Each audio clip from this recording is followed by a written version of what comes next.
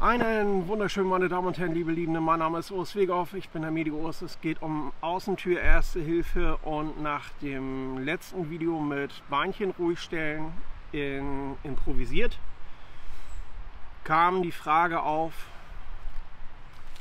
was man hiermit alles machen kann, in welcher Art und Weise, in welcher Variante es die hier gibt. Und dazu machen wir heute mal den Erklärbär mit meinen verschiedenen Lieblingsanwendungen für Sam Splint. Aber die gibt es nicht nur aus dem Hause Sam, die gibt es noch von vielen, vielen anderen Herstellern. Und auch dazu mache ich herzlich gern mal den Erklärbär.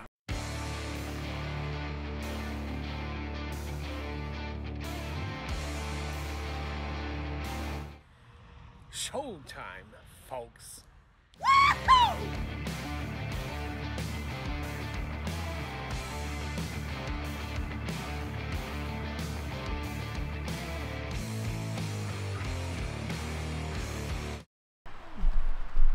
was es war, was es ist, was es sein wird. Bei dieser Schiene handelt es sich um Aluminium, was mit Schaumstoff ummantelt ist.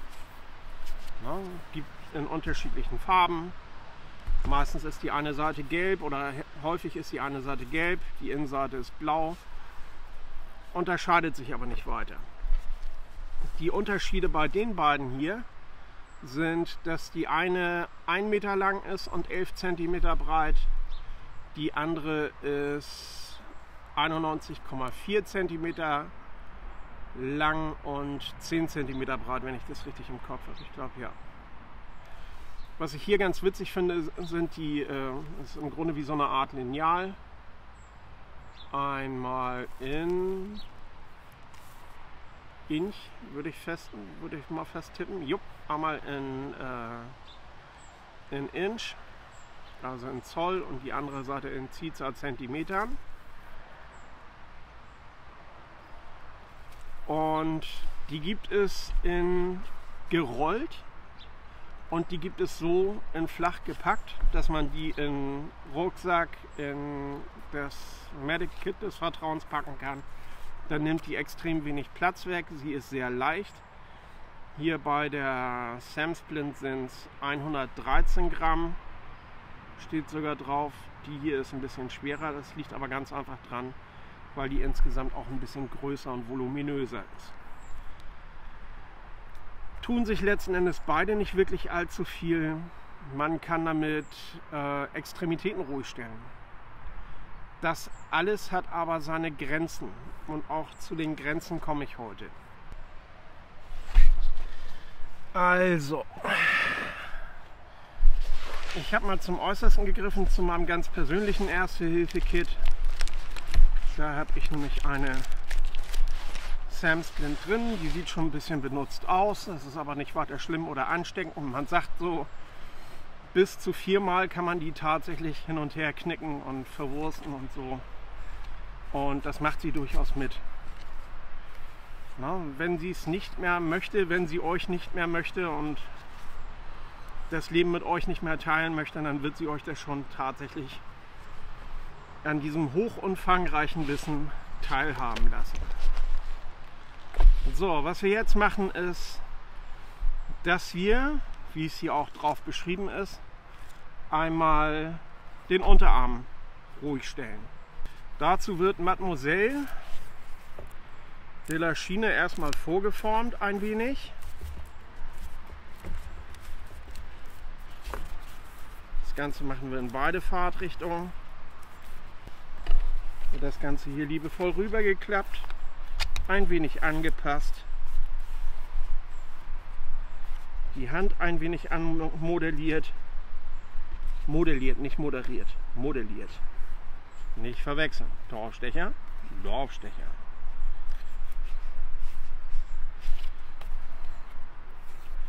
Wenn wir das soweit haben, gehen wir bei und nehmen das Fixiermaterial des Vertrauens. So, was ich hier veranstalten möchte, ist dass ich die Hand ruhig stelle. Oder vielmehr das Handgelenk und die Mittelhand ruhig stellen möchte.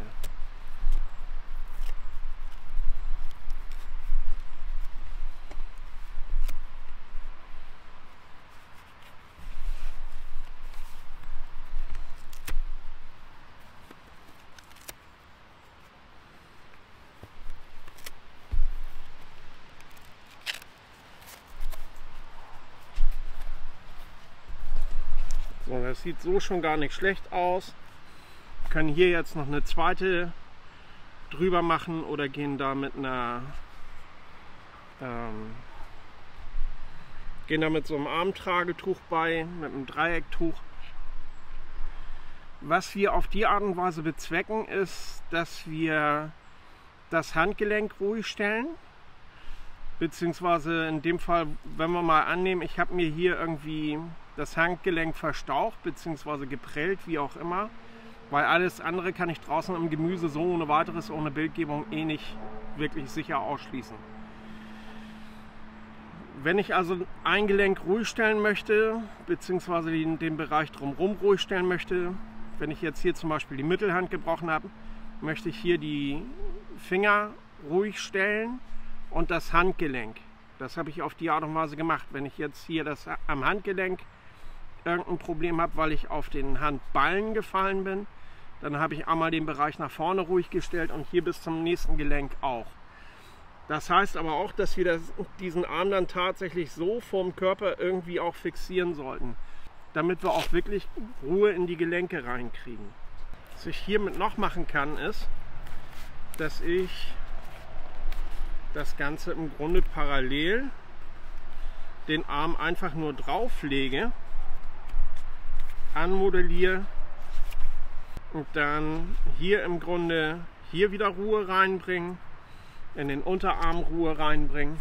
Habe dann aber immer noch, dass ich hier den, das Gelenk frei bewegen kann. Das kann ich machen, wenn ich hier vorne irgendein Problem habe. Dann habe ich das Gelenk mit ruhig und dann habe ich zumindest in Ansätzen hier vorne mit Ruhe drin.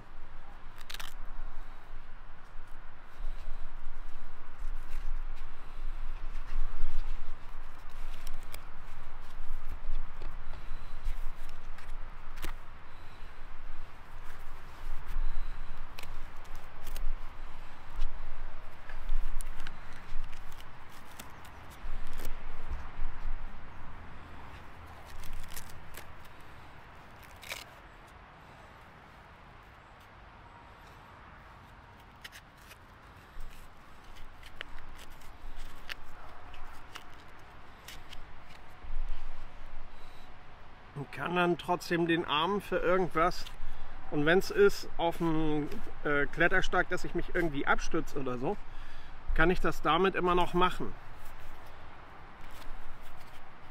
Habe aber wie gesagt im Ellbogen volle Beweglichkeit. Habe aber das Handgelenk ruhig, habe die Vorderhand ruhig und kann so dann weitermachen. Was auch funktioniert, ist, dass man den Oberarmknochen damit schienen kann. Dazu legen wir die Sam Splint bei unserem Patienten einmal in die Achselhöhle um den Oberarm rum.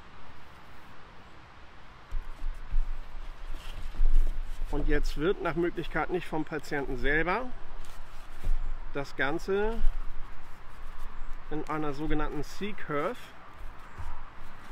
tatsächlich vorgeformt. Wichtig hierbei ist dann jetzt wieder, dass wir den Arm auch hier rüber fixieren. So, was geht noch mit so einem Teil? Wir können damit logischerweise auch Füße ruhig stellen oder ganze Beine. Wir nehmen an, wir sind irgendwo im Wald und auf der Heidi unterwegs, sind beim Trekking umgeknickt und können zwar noch auftreten, aber es ist wahnsinnig schmerzhaft. Das können wir ein wenig eindämmen, dadurch, dass wir den Knöchel ein wenig entlasten und den Rest des Schenkelchens ein wenig stützen. Und das gucken wir uns jetzt an. Dafür gehen wir erstmal bei platzieren den Fuß des entsprechenden auf dieser Sam Splint. Jetzt gehen wir bei und modellieren das Ganze ein wenig an.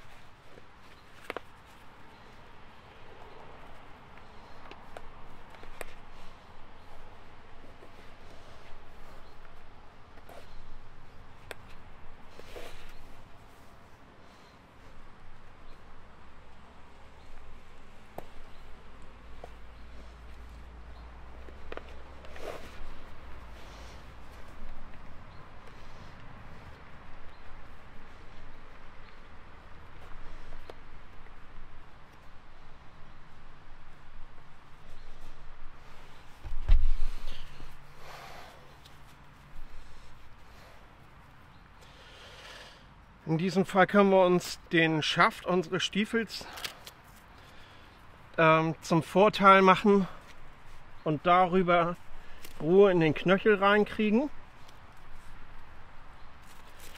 Und den Rest fixieren wir auch wieder mit einer Fixierbinde des Vertrauens. Voilà. Fertig ist das Konstrukt. Der Knöchel ist entlastet und die Lastverteilung läuft eher über Schien- und Wadenbein als auf den Knöchel direkt. Es wirkt unter den Taktik-Coolingern immer gern mal beigegangen, die Samsplint hier so Löcher reingeschnitten, dann wird ein Tourniquet durchgeführt, um ein Becken zu stabilisieren. Ich sage euch auch, was ich davon halte. Und das ist ganz einfach, das ist irgendwo zwischen nichts und Abstand. Denn ähnlich wie bei der Zervikalstütze werden bei über 75 Prozent der Beckenschlingen von Profis, die angelegt werden, werden sie in über 75 Prozent falsch angelegt. Das ist der eine Punkt. Der nächste Punkt ist, dass sich so ein ähm, gebrochenes Becken, wenn es denn tatsächlich gebrochen ist, wesentlich einfacher und leichter tatsächlich stabilisieren und die Gefäße im Leistenband sich entlasten lassen. Das kann man dadurch veranstalten, dass man die Knie zueinander rotiert und das Ganze mit dem guten alten Baumwolldreiecktuch sichert. Wenn man dann ganz sicher gehen will, dann macht man ein entsprechendes Dreiecktuch nochmal um die Füße rum. Das wäre dann aber schon doppelt gemoppelt und das wäre schon fast wieder zu viel.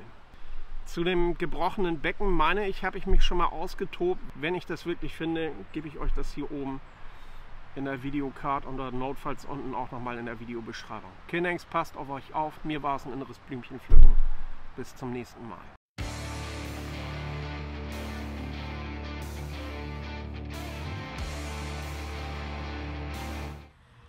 Showtime, folks. Woohoo!